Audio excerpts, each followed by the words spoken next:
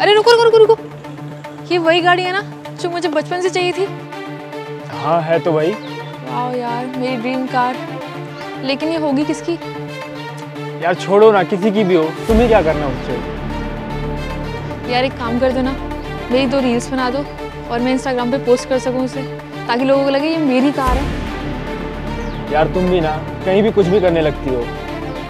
अरे कर दो ना। अच्छा ठीक है आ जाओ। पहले उतर तो सही।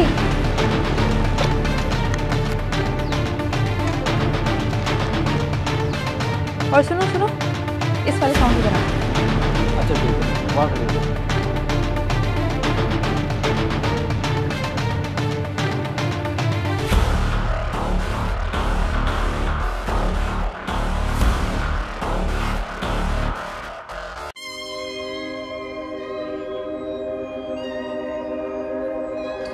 ये देखो बन गई। शील्स तो बहुत प्यारी बनाई है।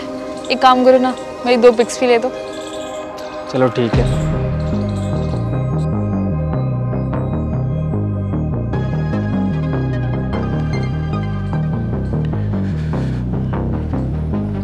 अबे ओ दिखाई नहीं दे रहा है क्या तुम्हें? हम दोनों यहाँ वीडियो शूट कर रहे हैं। सॉरी मैंने ध्यान नहीं दिया। देखा नहीं था। भिखारी कहेंगे पता नहीं कहाँ कहाँ से आ जाते हैं। अरे बेबी कपड़े तो देखो इसके जरा। नाइन्टीज वाले। आप लोग मुझे मज़ाक क्यों बना रहे हो? मज़ाक नहीं बनाया तो क्या करे? और तू इतना अकड़ के क्यों बात कर रहा है? तुझे पता है हम कौन है? एक सेकंड में अंदर करवा सकते हैं। छोड़ो ना बेबी किसके मुँह लग रही हो? हम अपना वीडियो बनाते हैं। और भाई तू जाना अपना काम कर।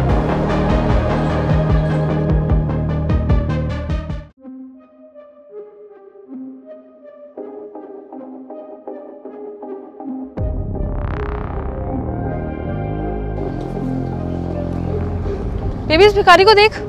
उसकी इतनी हिम्मत कि हमारी बाइक पे जाके बैठा है। चलो उसे अभी ठीक करते हैं। अबे ओ भिखारी तेरी इतनी औकात होगी तू हमारी बाइक पे बैठेगा। इतनी हिम्मत कैसे होगी तेरी हाँ? तुझे पता भी है कितने की है? तेरी साइकिल खरीदने तक की तो औकात नहीं है। और तू हमारी बाइक पे बैठेगा वो भी इतनी महँगी। और मेरी बाइक से थोड़ा दूर खड़े हो। छोड़ो ना बेबी क्यों इस गरीब के मुँह लगना? चलो हम चलते हैं। कैसे ना इसके मुँह लगूं? पहले भी वहाँ बदतमीजी कर रहा था हमारे साथ यहाँ भी वही कर रहा है। ऐसे लोगों को ऐसे छोड़ना नहीं चाहिए। इसे तो मैं पुलिस के हवाले करूँ तब ये ठीक होगा। चलिए सर हम मीटिंग के लिए लेट हो रहे हैं। Just a second. तुम इसे सर क्यों बोल रहे हो? शक्ल से और हुलिये से तो भिखारी लगता है। भिखारी? और ये? तुम्हें पता भी है तुम क्या बोल रही हो? अमित भिखारी मैं नहीं। भिखारी ये लोग हैं क्योंकि तो इनकी सोच ही घटिया है। इनके संस्कार बिल्कुल ज़ीरो हैं। छोड़। इन लोगों का कुछ नहीं हो सकता क्योंकि ये लोग ना पैसों के घमंड में चूर हैं। चल छोड़ अमित हम चलते हैं। एक एक सेकेंड ये तुम्हारी गाड़ी है। आई I मीन mean, ये आपकी गाड़ी है?